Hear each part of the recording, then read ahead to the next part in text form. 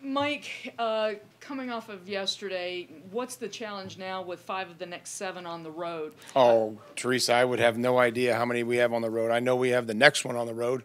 Um, but the challenge is the same. The challenge is the same whether you win or you lose. You have to uh, regroup, figure out what you did good, what you did bad, and, and try to eliminate the things that get you beat. And that's that's what we're going to do. And the challenge is getting ready for another opponent, an excellent opponent on the road on Monday night. Tell you, what were the main things that got you, got you beat yesterday? Um, well, you look at you know the the run defense, you know things that we, you know, when we are playing the game well and we we are uh, operating how I think we should operate. You know, we're running the football, we're stopping the run. Our quarterback's efficient. Uh, we affect their quarterback. You know, neither of those two things did we win those matchups. Uh, won won the turnover matchup, but uh, you know I felt like we did. Um, well enough in some of these critical situations, especially at the end of the game, to put ourselves in a position. But that that in the end really was was what got us was just not being able to control the football, you know, and then the the X plays that we gave up, those big plays uh, on defense, and you know we still need to try to make sure that we're finishing some drives off. Um, third down wasn't good enough. Too many three and outs to start the second half. Seemed like as soon as you got the completion to Philips, you were satisfied with the field position for the field goal, and were more concerned with moving horizontally than vertically. Couldn't you have used more yards there? Well, we could always use more yards. I'm comfortable, and I've, and I've gone into saying this that at the 25 yard line, um, I've told the team this that we're going to kick the field goal. Now, we were 26 27. I wanted to be very clear what hash we wanted it on. I explained that last night. Um, I'm not disappointed in how that situation happened. I'm disappointed uh, that a guy that we have a lot of confidence in missed. Randy's disappointed, but uh, he's made a lot of big kicks for us. So, um, you know, it's a situation that we've actually covered, covered in the summer. Um, had 18 seconds on the clock, had no timeouts. Randy wanted it on the right hash, so we put it on the right hash, got lined up, calmly clocked the ball, and and then unfortunately missed the kick. Burning the timeout after you were out of bounds, or guys milling around too much there? No, again, that was me just being very clear on where we wanted the, um, you know, where we wanted the football. You know, was it the left hash? Was it the right hash? It's just a game winner. We want to make sure that everybody was on the same page. That's that was my decision. How much does that change week to week? It, it does. I think it actually uh, changes sometimes during the game based on the wind and based on how he feels, um, which direction we're headed. So there was actually, you know, a conversation, and I wanted to make sure that that there wasn't any indecision in what uh, what we were telling Ryan where we wanted the football. Like beyond the jig run that we asked about yesterday, the third and short failures in general in the second half, any common threads there? How, how disappointing was that for you? Well, that's something that we've been, you know, really good at, and that we're going to continue to be really good at. That was, um, you know, disappointing. You know, I mean, we we had done well enough on first and second down to, to eliminate some of those third and extra longs that we were just, you know, are hard to pick up and protect and all those different things. Um, so we'll have to make sure that we're giving these guys a great plan. We're giving the quarterback plenty of options uh, for the looks that we're thinking that we may see or not see, and um, and be better. You know, the the one, you know, I, thought we did a fantastic job with the with the man coverage early in the game. We had, um, you know, Bobby in the backfield and Ryan progressed through, and they kind of dropped Dontrell, and then we started seeing some more zone, probably because of that. Uh, and I think that we just have to make sure that we're adjusting to some of those things that, that happened through the course of the game. With the committee approach or collective approach as a receiver core as opposed to like one dominant guy, like how much stress does that put on you as a play caller or Coach Down and Coach Kelly as, as you know, people who go into making the offense tick?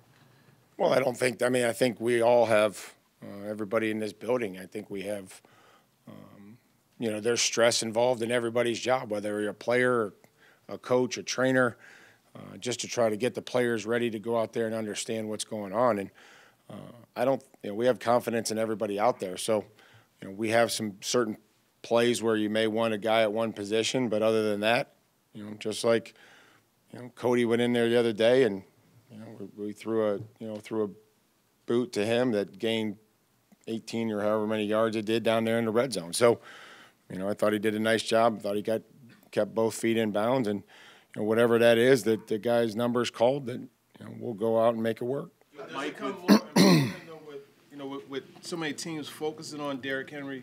Does it become more important, like for someone They to focused on as that- Derrick since, you know, the last three years or whatever that may be. That's not the, nothing's changed there. You know, we left a lot of meat on the bone, uh, running the football.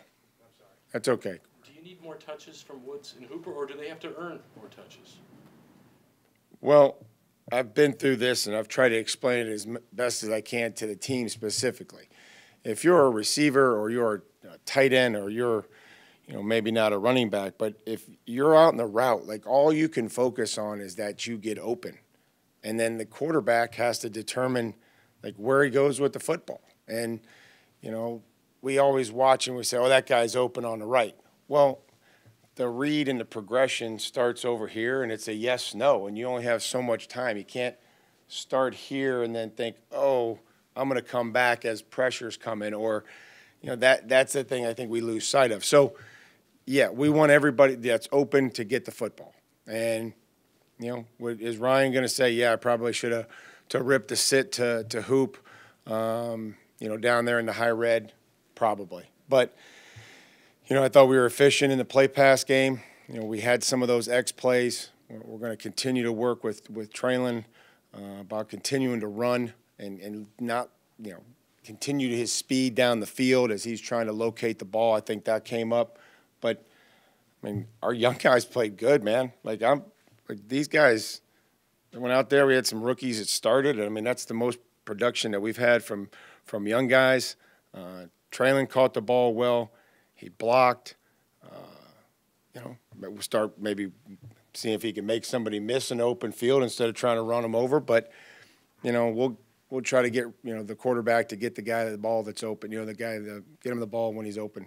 How would you say the protection was yesterday? Because no sacks allowed. Petit-Frere seemed to be very engaging and locking up his guy and didn't seem to need a whole lot of extra help. Even with Swaim and Hoop, the time you know Geoff did a nice job on some of the defensive ends that we had him blocking in, in the play pass, which we know can be, you know, hit or miss. So I thought the protection was good. There was some, you know, always a couple times where, you know, they run a game or there was some leakage, but um, overall I thought it was it was good. You know, there was some good pockets, some very good pockets. You know, our sack came on a on a boot that Ryan didn't gain any yards on. So. Um, all in all, I think that it was, you know, did some positive things up front. Maybe trying to run around too many blocks? and- and Well, I think that there's always, you know, there's, there's three ways that you can get to the ball, you- under, over, or through. And as Zach sh- has shown in the past that, you know, he can do all three of those. That's why he's such an intriguing player. Um, so, you know, I mean, I, it, one thing to look at is where the ball is, where the blocker is. You know, there are some times where if the ball is, you know, further away from, from the blocker that you can dip and avoid and, and, and try to, you know, beat them. So those are decisions just like with Derrick with running the football. You know, you have to, you know, you coach them up and hope that they make the right decision, then make the right read, whether he's going to slip underneath the block or, you know, take it on and, and try to shed. On the meat of the ball left on the running game, Mike, how much of that was left by Derrick himself? I think probably some, you know, some. There was, again, we're all in it uh, out there, and we we have to have a play design. Uh, sometimes Derrick bounces, makes a huge play.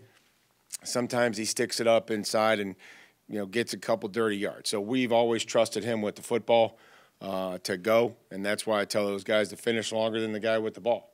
And sometimes we've seen him break it out and make magic happen, and sometimes it's a you know, one or two yard gain. So the that's what we've entrusted him to do, and that's why he's our running back, and that's why we, you know, rely heavily on him. The two Conversion where, where guys in the right spot just didn't make a play, or did, did you get out of? No, I think we had a couple guys there. You know, we had a couple guys there, and Saquon made a play. Think was held in that play, Mike? Uh, I think that there's a lot of things that I think they had 12 men on the field when we punted the football too, but I, I that's beside the point. Every, probably every play was different, but the, the consistency in the run defense, was it more missed tackling, maybe uh? Probably more. We had, you know, double digits. Um, you know, some of the fits, you know, making sure that, you know, we go, you know, that there's an edge, that there's a wall, and, and that you're swarming. And so sometimes when they get some pullers over the edge, uh, you have secondary players that then become force players, right? So that we have to, you know, make sure that we're forcing it and that we're, you know, getting the right guys at the right angles. Mike, on Woods, on Woods and Hooper again, you, you mentioned how, you know, they, they, as pass catchers, you can't really control when you're getting the ball, but um, in- terms of, even though they, they didn't really get the ball, were you pleased with kind of what they were doing away from the ball, blocking? Did, were you encouraged in that regard in terms of them doing their job to, to get open and, and block and doing all that? Yeah, I mean, I mean, again, we lost the game, so nobody really um, played well enough or coached well enough, and that's that's how we want to approach it. Um, everybody, I would say, that was involved in the game did some of those things that were really positive, and then some of the things that we just need to correct and make sure that we fix, whether it's you know how we're running a route, how we're blocking, how we're taking on blocks. Um, you know, just it's a big week for us, and, and we're going to use the extra day hopefully to try to take care of some fundamentals and look at some things that come up and, and try to be very specific. You've been here before. I mean, you've had disappointing losses and faced a big opponent coming off of it. Every loss is disappointing. Every loss is disappointing. I mean, we put a lot into it, um, you know, and we've and we've done that to other teams, and I guess that's why it it it hurts and it's frustrating and disappointing and a million different things. But you know, walk in and talk to the team and tell them, you know, this is you know we got off to the start we wanted. This is what we were doing well. Um, came out, you know, second half, sky kick. You know, we start backed up. We go three and out to start, and you know, just really never did enough in the second half to take control of the momentum. Um, you know, proud of the way that we fought. You know, unfortunately, just came up short. You guys have responded well in these situations, though. I mean, I, and I, and I'm gl- and I'm proud of that. I'm proud of the the players that they understand. Um, I think they keep everything in perspective. I think they do do a good job of keeping things in perspective. So I'm going to try to do that and help them.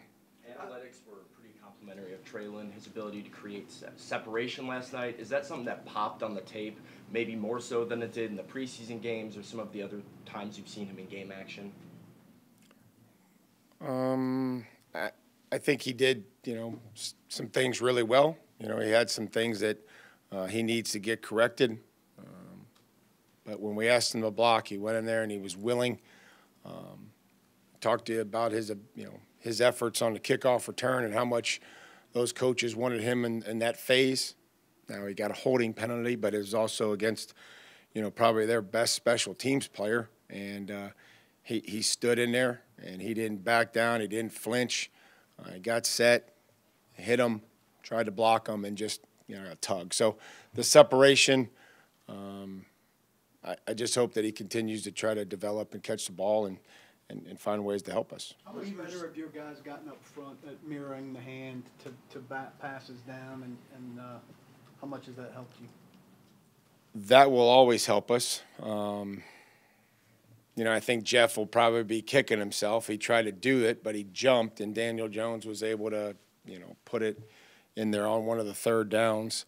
Uh, but he was trying. Geoff was clearly chasing him and, and, and kind of went to match the hand and, and left his feet a little bit. But Strong came up with a big one uh, at, a, at a huge point, uh, third down you know, we, we just didn't have enough attempts, whether that was at the line of scrimmage or, you know, with, with the ball carrier.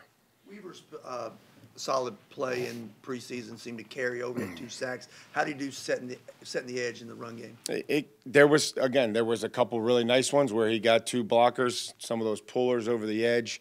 Um, and then there was another one where, you know, he could have been better, and he knows that, and, you know, we'll try to explain it to him and show him.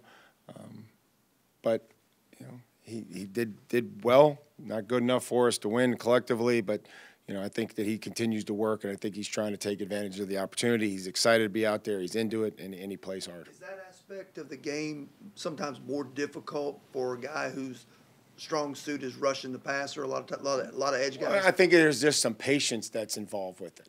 You know, whether that be he or Denico, you know, you're, the, the defensive players, you always want to make a bunch of plays, right? We just ask you that you make the ones that you're supposed to make. Um, cause there has to be some sort of responsibility, there has to be some sort of semblance to order and what's going on. And so, you know, I think that there is a fine line of winning, you know, we talked about Zach Cunningham running around a block, or when you just get rid of somebody soon instead of waiting and then losing a speed battle to, to a very good back. Mike, this team was six and one last year in games decided by three or fewer points. Is that kind of a toughness or mentality that has to be relearned year to year, or is there any kind of carryover that maybe you can try to tap into? There may be some carryover. I mean, it's just understanding the situations, right? We were pretty confident uh, that they scored, that they were going to go for two, being on the road. A lot of different factors. Um, the way that the game was going um, left us enough time. Our offense went back. We missed a kick at the end. We have been good. I'm proud of the fact that we have been good in, in one score games.